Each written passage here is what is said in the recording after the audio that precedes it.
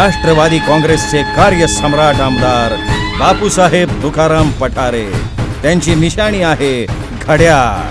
घड्याळ घड्याळ